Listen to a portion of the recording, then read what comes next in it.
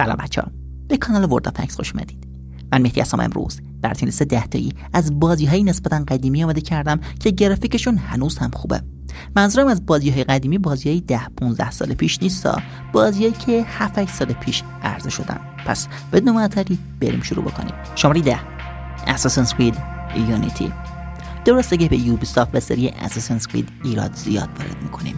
اما وقتی که بازی اساسنس کرید یونیتی عرضه شد نسبت به عنوان قبلی زمین تا آسمون از نظر گرافیکی فرق داشت. یادمه وقتی که من داشتم بازی رو انجام می‌دادم و دوستم اومد خونه به معنای واقعی پشماش ریخت و گفت این اساسنس کریده آره ملت همچین واکنش نسبت به بازی اساسنس کرید یونیتی داشتم. و خب می‌دونید چیه؟ اگه همین الان هم شما برید این بازی رو انجام بدید چیزی از بازی های امروزی کم نداره. انصافا محیط هایی که اونا طراحی کردن واقعا جذابه. و برخلاف بقیه بازی های اساسنس کرید توی اون از محیط های تکراری کمتر استفاده شده. یعنی شما می‌تونید ساختمون های متعددی رو ببینید. هنوز هم المان های فانتزی توی بازی اساسنس کرید یونیتی وجود داره. اما با این حال سعی کردن واقع گرایانش بکنن. و خب می‌دونید این بازی در سال چند عرضه شده؟ در سال 2014 یعنی تقریبا 10 سال پیش. اما هنوز هم گرافیکش میتر کنه شماره 9 Witcher سه.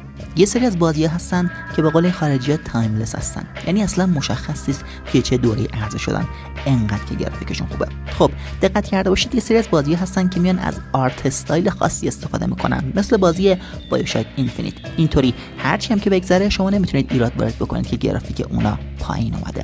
اما Witcher سه تلفیقی از art style خاص و واقع گرایانه بودنه. یعنی با این حال شما می‌تونید بفهمید که این بازی گرافیک خوبی داره. و می‌دونید این بازی در سال 2015 عرضه شده.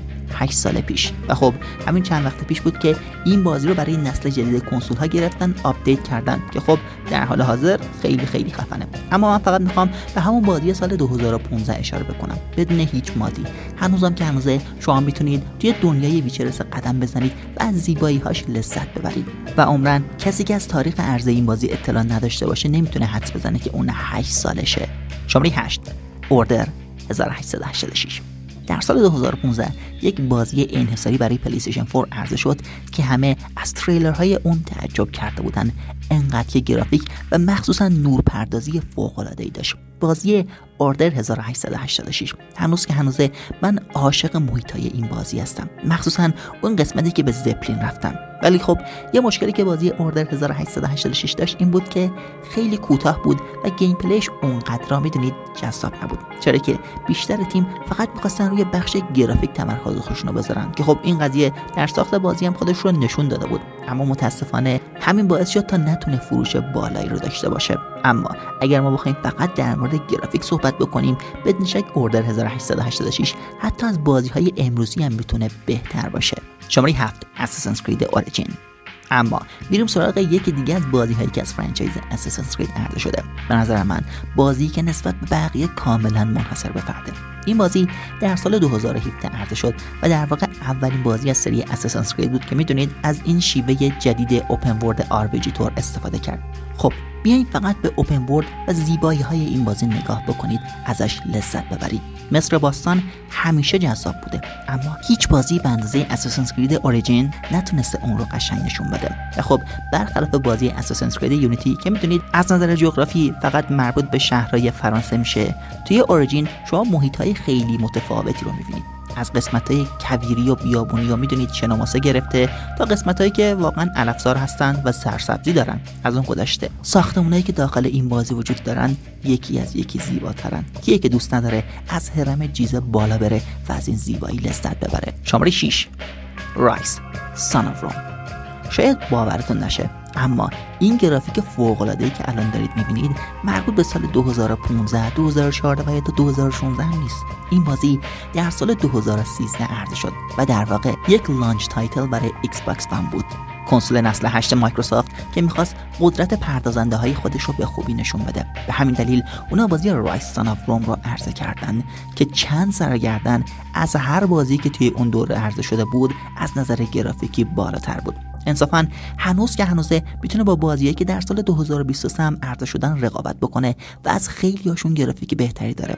و اینو داشته باشید که این بازی رسما ده ساله که ازش میگذره. اما هرچی این بازی از نظر گرافیکی فوق العاده بود از نظر داستانی و gameplay حرف زیادی برای گفتن نداشت. اما اگر شما اون انجام داده باشید قطعا می‌دونید که گرافیک فوق العاده ای داره. مخصوصا اون مرحله اول که شما از کشتی ها پیاده میشید و دارید به ساحل حمله می‌کنید. شماره 5 Batman.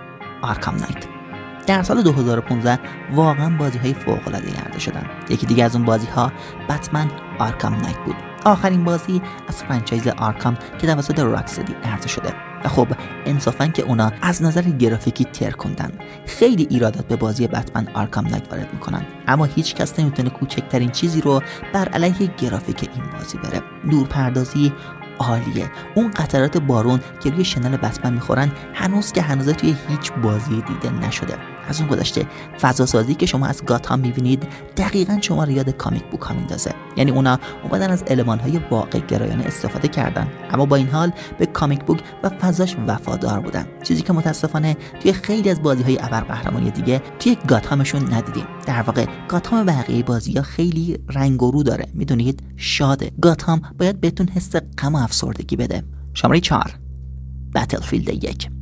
خب گرافیک هیچ وقت توی بازی های اول شخص شوتر مهمترین چیز نبوده. به همین دلیل بازی های زیادی نیستن که توی اون دوره گرافیک خیلی خفنی داشته باشن به جز بازی بتلفیلد یک که در سال 2016 عرضه شد. اما با این حال هنوز می‌تونه با بازی های کال که در سال اخیر عرضه شدن از نظر گرافیکی مقابله بکنه. و خب می‌دونید من اونقدر طرفدار بازی های بتلفیلد نیستم. اما بتلفیلد یک به معنای واقعی یه چیز دیگه بود. هیچ عنوانی اونقدر جرأت نداشت که بره سراغ جنگ جهانی اول. همه با جنگ جهانی دوم کار می‌کردن. اما بتلفیلد یک سراغ این دوره رفت و تونست محیط هایی که توی جنگ جهانی اول وجود داشتن رو به خوبی نشون بده. از اون دشتای سرسبز کوهستانی در ایتالیا گرفته و یا کویرهایی که توی عربستان شما باید توی اون با اسب میدویدید. همه اینا فوق العاده بودن و انصافا که گرافیک اون بازی نسبت به بازی های این دوره هم بالاتره. شماره 3 آنچارتد 4 خب آره احتمالا الان دارید به خودتون فکر می‌کنید که آنچارتد 4 که بازی قدیمی نیست. آره منم اینطوری فکر می‌کردم. اما وقتی رفتم تاریخ عرضه رو دیدم متوجه شدم این بازی در سال 2016 عرضه شده. یعنی هفت سال پیش اصلا انتظارش رو نداشتم. یعنی واقعا انتظارش رو نداشتم. آخرین بار بازی Uncharted 4 رو روی PlayStation 5 دیدم. خب گرافیکش فوق العاده بود.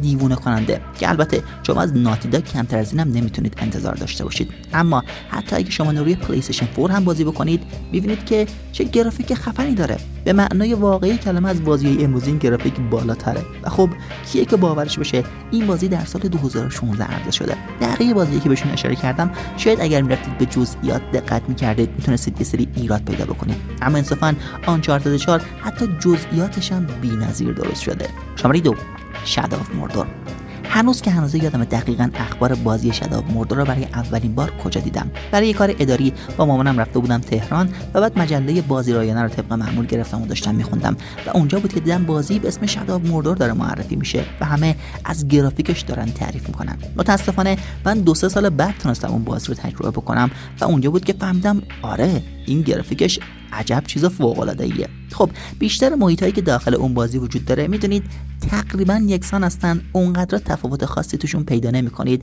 همشون دشت و سرسبزی دارن. به همین دلیله که اونقدر نمیشه ازش تعریف کرد. اما این قضیه رو داشته باشید که بازی شداب مردور در سال 2014 عرضه شده. و خب اگر شما این گرافیک نسبت به اون سالی که بازی عرضه شده در نظر بگیرید واقعا بهش حق می‌دید که توی لیست امروز ما باشه. شماره یک فاینال فانتزی 15 اما بدون شک زیباترین بازی و تمیزترین بازی که بین سالهای 2013 تا 2017 عرضه شده بدون هیچ تردیدی فاینال فانتزی 15 فقط یه نگاهی به محیط خیلی زیبای این بازی بندازید. اصلا باورتون میشه که در سال 2016 عرضه شده به هیچ عنوان. وقتی که من برای اولین بار داشتم این بازی رو تجربه می‌کردم و سوار ماشین بودم و داشتم توی جاده همینطور رانندگی می‌کردم با خودم می‌گفتم واو یعنی بازی ها قرار از اینم واقعی تر بشن. که خب گرافیک بازی ها از این هم بالاتر رفت اما هنوز که هنوزه اون حسی که بازی فاینال فانتزی 15 به شما میده بازی امروزی قابل قیاس نیست. چرا که اون دوره چندین قدم از رقبای خودش بالاتر بود. تقریبا هر چیزی که شما داخل این بازی می‌دیدید فکر می‌کردید که در دنیای واقعی هم وجود داره. البته به جز لباس پوشیدن و مدل موی کاراکترهای اصلی اون خب این از ویدیو امروز ما. امیدوارم که ازش لذت کافی رو برده باشید. شما هم بازی دیگه می‌شناسید که می‌تونست توی لیست امروز ما باشه. اگر توی کامنت بهش اشاره بکنید. در هر حال اگر با این ویدیو حال کردید like و subscribe فراموش نشه. آرزو می‌کنم خوبی داشته باشید. و تا قسمت بعد خدا نگهدار.